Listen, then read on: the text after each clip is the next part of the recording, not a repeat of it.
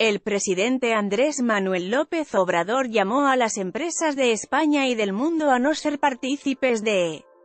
la corrupción o colusión de delitos con funcionarios públicos. En un mensaje a medios tras sostener un encuentro privado con el jefe de gobierno español, Pedro Sánchez Pérez Castejón, López Obrador dijo que quiere que se conduzcan las empresas con ética, queremos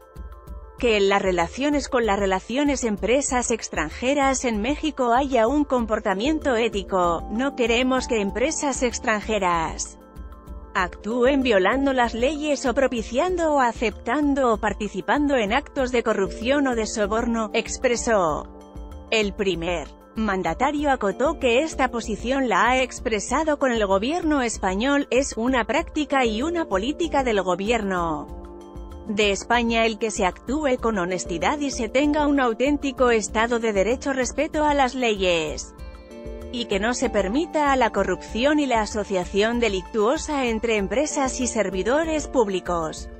Dejó claro que, las empresas y las inversiones españolas están seguras y que los empresarios tienen las puertas abiertas.